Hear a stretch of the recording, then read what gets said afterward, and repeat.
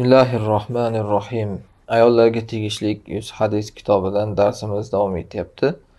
Bugun 43-hadis aytadi: Alayki bi ibadati tusaqqilina biha mawazinaki va tukmilina biha ma naqasa min amalik. Sen o'zingga nafil ibodatlarni lozim tut, u bilan mezoningni og'ir qil. va u bilan noqis amallaringni to'ldiradigan ibodatlarni nafl ibodatlarni lozim tut deyapti. Ya'ni ayol kishini hayz paytida yarim amali noqis bo'ladi. Va boshqa sabablardan ham ko'p narsalarda amal qilolmaydi shuning uchun o'sha o'rnini to'ldiradigan ibodatlar nafl ibodatlarni ko'proq qilish kerak. Kam joyi shu bilan to'lib ketadi. Ana shu bilan mezon og'ir keladi noqis qolgan amallari to'ldiradi shu bilan. Hozir shunga mana misol keltiriladi. Abu hurayra roziyallohu anhudan rasululloh sollallohu alayhi vasallam aytdilar la yahillu lil mar'ati an tasuma va zawjuha shahidun illa bi iznihi va la ta'zana fi baytihi illa bi iznihi va ma anfaqat min nafaqatin min g'ayri amrihi fa innahu yuadda ilayhi shatruhu. Ayol kishi eri shohid bo'lib turganda ro'za tutishi mumkin emas halol emas illoki uning izni bilan halol. Va erini uyiga izn berishi joiz emas halol emas illo uning izni bilan halol. Va ayol qandayki nafaqani infoq qilsa erining amrisiz u erkakka uning yarmi ado qilinadi dedilar. Ya'ni birinchi qismi hadisni ayol kishi eri shohid bo'lib turgan holatida uni iznisiz ro'za tutishi halol emas. Shohid bo'lib turgan degani ya'ni eri oldida bo'lib turgan. Bundan chiqadiki masalan er yo'q. Er boshqa joyda safar qilib yuribdi. Unda tutaveradi so'rab o'tirmaydi. Chunki bu o'zi ro'za tutishmasin ayol eri borligida deyilgan hikmati eri uni xohlab qolishi mumkin. Endi bir ajib narsa borda shu yerda. Tabiiyki hozir bu yerda nafl ro'za nazarda tutilyapti. Farz ro'zada erkakdan so'rab o'tirilmaydi u aniq. E, ma'lumki nafl ro'zani ayol kishi ochaveraverishi mumkin. Nimaga shunda hadisda aytilmaganki e, tutsa tutaversin eri xohlasa ochaveradi faqat. Demagan masalan. Chunki agar ozgina bir mo'min odam bo'lsa masalan agar xotini men ro'zaman desa endi ho'p shuni ro'zasini buzmay deb keyin e, yuz o'girishi mumkin. Ro'zasini buzmay tutgan shuncha paytga masalan yarim kun deb. Endi bunday qilib yuz o'giradida xotinidan keyin u shahvat baribir ketib qolmaydi u ro'za ekan xotin deb. Keyin kuni bo'yi baribir shahvat bilan yuradi. Ko'cha ko'yda masalan keyin begonalarga qaraydi yoki o'ylaydi o'sha xotinini ro'zadorligini rioyasini qilib e, ro'zasini buzmayman mayli deb keyin gunohkor bo'lib yurmasin degan maqsadda ana shuning uchun ayol kishiga aytilgan o'zi sen bir yo'la tutma ering hozir bo'lganda degan. Illo qachon eri aytsa tutaver men masalan hech e, xohlab turgan joyim yo'q desa erkak keyin unda ha mayli deb endi bo'ldi xohishi yo'q ekan deb tutaveradi. Undan chiqadiki o'sha darajada o'sha erkakni xohishini inobatga olingan mana bu yerda. Shuning uchun ham boshqa hadislarda aytgan ayol eri uni chaqirgan paytda bosh tortsa u ayolni farishtalar la'natlaydi degan ana shu darajada bu ahamiyatli ekanda demak hatto ro'zani ham eridan ruxsat so'rab izni bilan tutishlik kerak deyilyapti. Yana aytyapmiz bu naflda kimdir olib olib masalan shuni ramazonda ham demak erdan ruxsat so'rash kerak ekan yoki hijob o'raganda mana erdan ruxsat so'rash kerak ekan deb tushunilmaydi. Er buyuryapti deb yo'q bu nafllar aytilyapti ikkinchi qismi hadisda erni uyiga uni iznisiz biror kishiga izn bermaydi. Ya'ni er bilan yashayotgan xonadonga eri ruxsat bermagan hech kimsani kiritmaydi. Hatto ota onasi bo'lsa ham opa singlisi bo'lsa ham aka ukalari bo'lsa ham chunki erni uyi erni harami deyiladi. Masalan olloh nima uchun makkani haramiga mushriklar kirmasin degan. Ollohni haramida yur ya'ni u xohlagan odam kiradi u rozi bo'lgan odamlar kiradi u yerga u norozi bo'lgan odam kirmaydi u yerga ana shunga o'xshab erkakda ham rozi bo'lgan odami bor norozi bo'lgan odami bor. Uy erkakni harami. Erkak o'zi rozi bo'lgan odamlardagina uyga kiritishga haqqi bor ayol. Erkak norozi bo'lsa kim bo'lsa ham uyga kiritmaydi. Endi siyla rahmni uzib ketilaveradimi? Masalan ota onasi bilan bordi keldi qilmay ayol kishi desa u unikiga boradi. Eri uni man qilishga haqqi yo'q. Ayol ya'ni ota onasinikiga boradi aka ukasinikiga boradi lekin uyga kelmasin deyaptimi? Kelmaydi. Endi mana shunga bugungi kun mana bugungi kunda telefonda er rozi bo'lgan izn bergan odamlar bilan gaplashish ham kiradi. Chunki u ham bir telefon ham uydek bo'lib qolgan bugun. Erkakdan izn so'rab erkak ruxsat bergan odam bilan gaplashadi erkak ruxsat bermagan odam bilan gaplashmaydi. Bularda ham hammasida endi yana o'sha shariatga qaytilinadi albatta. Ya'ni erkak o'zi nima uchun e, man qilyapti? Masalan haqqi bormi o'zi man qilishga? E, masalan dinsiz odam erkak kishida ota onasi dindorligi uchun ayolini man qilyapti. Yoki o'sha dindor ayol bilan yoki ayol ota onasi bilan gaplashishligida ham telefonlarda man qilyapti. Ana bunaqa narsada albatta maxluqqa itoat yo'q. Xoliqosi bo'ladi qachon unda bu gapga amal qilinadi desa masalan erkak zarar ko'ryapti ayoli uyiga olib kirayotgan odamlardan u yoki telefonda gaplashayotgan odamlaridan. Uni masalan aynitishyapti telefonda gaplashib. Aynityapti deganda ham aynan uni so'zma so'z eriga qarshi qayrashi shart emas. Ering yomon ering unday dedi balki u masalan o'zini hayotini gapirib berib ham ba'zan. U keyin o'zini hayotiga taqqoslaydida u xuddiki o'zini bechorasan deydi mazlumsan deydi. Ana shunaqa qilib ham aynitadi shunaqa paytlarda ham shuning uchun erkak odam uyga kirgizmasligini ham yoki telefonda gaplashmasligini ham shart qilib qo'yishga haqqi bor. Shunaqa o'rinlardada bu.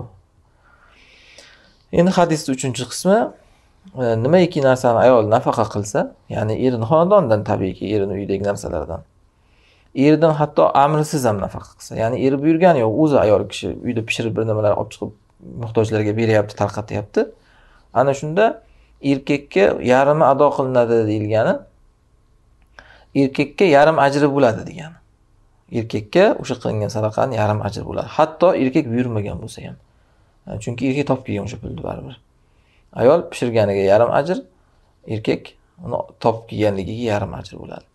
Endi agar erkak buyursa ayol o'zi erkakni buyrug'i bilan qilsa unda to'liq ajr ikkisiga ham. Chunki hech kim hech kimdan yashirib ish qilmayaptida bu yerda.